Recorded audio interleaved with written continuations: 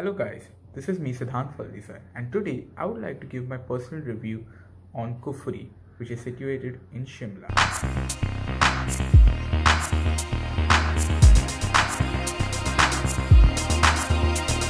Kufri is a small hill station in India that is located in the district of Himachal Pradesh in Shimla.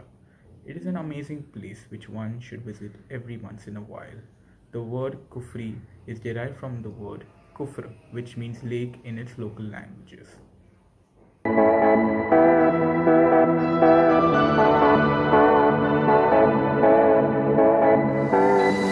The beauty around Kufri is mesmerizing.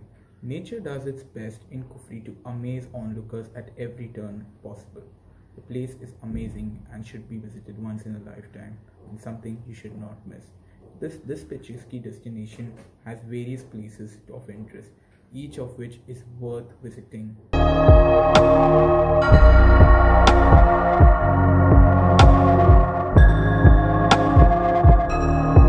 When I visited Kufri with my family, I went with the thought in my mind that wow, I'm finally going to a place which I saw in a movie. I've seen that location in very in a lot of different movies, like in 1970s movie, any movie which Amitabh Bachchan and Rekha visited. That was something I wanted to go and see that place myself.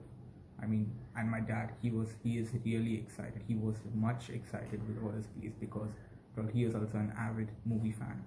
So when me and my dad visited the place, actually me and my family, when we visited the place, we were all startled by the look of it. It was amazing. It just it looked just like in the movie. And by the way, that was shot in 1970s.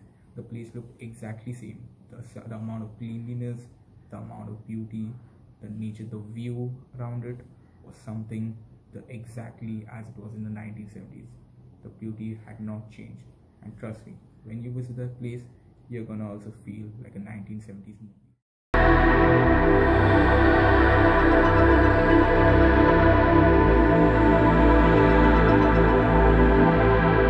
And that, my friends, was my personal experience and review to Kufri, the Kufri, the amazing place.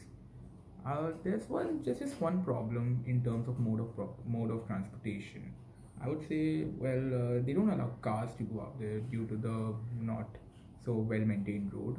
Like uh, the only way of traveling up there is through horses. Through horses, you have to like each one you have to pay for a horse and like you have to take a horse and climb up to there. There's no cars allowed. No, neither you can take a take a take a helicopter and go out there. Well, other than that, it's a worth visiting place. And in terms of food, you I don't think you would have any problem. The normal restaurants which you wanna eat in, they are a bit far away, but down the dhabas situated down over there, they're quite good.